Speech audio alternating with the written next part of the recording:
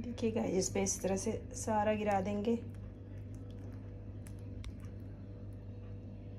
इसे ठंडा भी खा सकते हैं और गर्म भी खा सकते हैं। अब मैंने सारा गिरा दिया है, बहुत ही दिखने में सुंदर लग रहा है। अब इसको मैं कुछ गार्निश करूँगी ड्राई फ्रूट से। आपको जो ड्राई फ्रूट पसंद है, आप उससे कर लें। मैं इसे बादाम से करने वाली हूँ।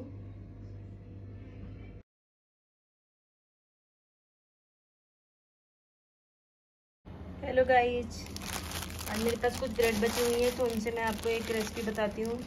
डिज़र्ट है जो कि कभी कभी ब्रेड बच जाती है तो मैं बना लेती हूँ। वो है शाही ब्रेड कस्टर्ड तो उसकी रेसिपी मैं आपको सिखाती हूँ। मैंने ये ब्रेड ली हुई है इंग्लिश ओवन की ब्रेड आगे की रेसिपी मैं आपको बताती जाती हूँ कैसे मैं बना रही हूँ। गाइस कस्टर्ड के लिए लिया मैंने एक गिलास दूध। इसमें से थोड़ा सा दूध मैं इसमें डाल दूँगी। और इसमें एक चम्मच, एक बड़ा चम्मच कस्टर्ड पाउडर डाल के पहले से मिक्स करना है मुझे। गैस बाकी के दूध को मैं गर्म कर रही हूँ। और उसमें जिस स्पून से मैंने कस्टर्ड लिया था, इसी स्पून से इसमें मैंने दो चम्मच चीनी भी ऐड कर दी है। अभी जब बॉयल होने लगेगा तो इसमें मैं ये कस्टर्ड का घोल डाल दूँगी।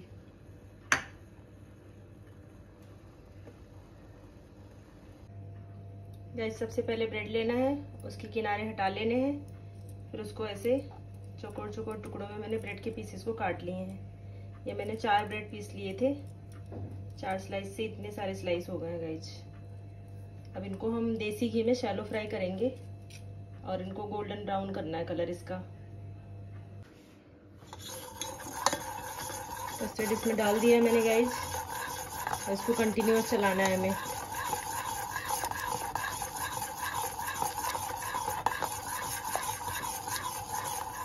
जब तक ये थोड़ा गाढ़ा ना हो जाए।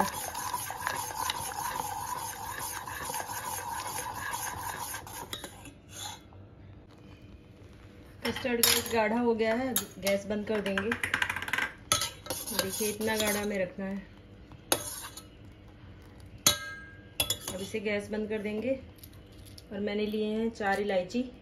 इनको मैं छिलका हटा के अच्छी तरह से कूट के इसमें मिक्स कर दूँगी। आप इलायची पाउडर भी डाल सकते हैं, मेरे पास नहीं है तो मैं फ्रेश इलायची डाल रही हूँ। गाइस ये सारे पीस मैंने ले लिए हैं एक अलग प्लेट में और एक नॉन स्टिक पैन डाल चढ़ा दिया मैंने जिस पे मैं डालूँगी एक चम्मच घी।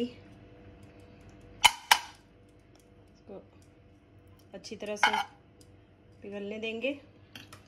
उसके बाद हम अपने सारे पीसेस को इसी में शैलो फ्राई करेंगे ये ब्रेड के। अच्छी तरह पैन गरम हो जाए। अब इसमें एक एक करके रख देंगे हम।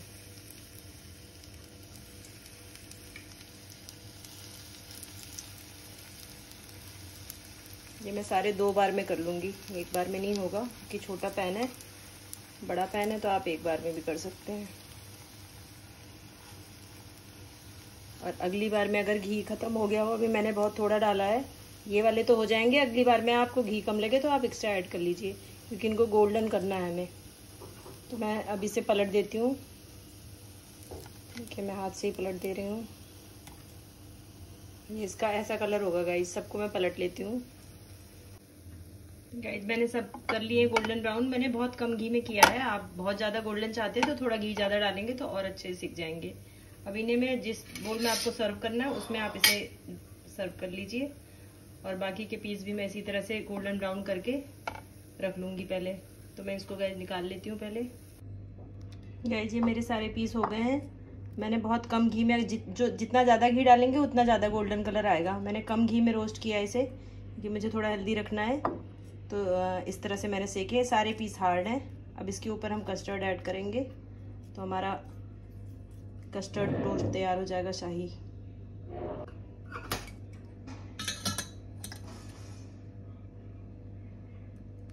देखिएगा इस पे इस तरह से सारा गिरा देंगे।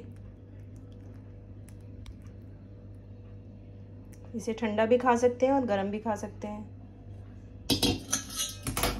अब मैंने सारा गिरा दिया है, बहुत ही दिखने में सुंदर लग रहा है। अब इसको मैं कुछ गार्निश करूँगी ड्राई फ्रूट से। आपको जो ड्राई फ्रूट पसंद है, आप उससे कर लें। मैं इसे बादाम से करने वाली हूँ। गाइज़ हमारा शाही कस्टर्ड टोस्ट रेडी है। इसे मैं बादाम से गार्निश कर रही हूँ। ये देखिए, अब मैं इसे थोड़ा ठंडा करके खाऊँगी। क्योंकि ठंडा और भी टेस्टी लगता है। जिन्हें गरम कस्टर्ड पसंद है, वो गरम भी खा सकते हैं। गाइज़ मैं इसे टेस्ट कराती हूँ एंजल से। देखती हूँ ये कैसा बना हुआ है। दिखने में तो बहुत अच्छा है, खाने में देखती हूँ कैसा है। चलो एंजल चख के बताओ।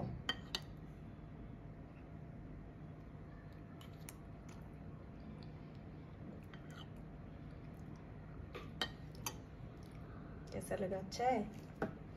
ओके okay गाइज़ आप भी रेसिपी ज़रूर ट्राई कीजिए। घर में जब चार पाँच ब्रेड बच जाती हैं तो उससे कुछ क्या बनाया उस तरह से मैंने आपको सिखाई है रेसिपी मेरे पास बची हुई ब्रेड थी, उसी से मैंने भी बनाया है। आप भी इसे ट्राई कीजिए सिंपल में जल्दी जल्दी बन जाएगा। और नॉर्मल कस्टर्ड के अलावा कुछ आप स्वीट डिश आपकी पूरी बन गई। तो आप इसे ट्राई कीजिए ब्लॉग को देखते रहिए लाइक करते रहिए। चैनल को जिन्होंने सब्सक्राइब नहीं किया गाइज़ कर लें प्लीज़ और मेरे ब्लॉग देखते रहें लाइक करते रहें। Bye bye guys thanks everyone keep watching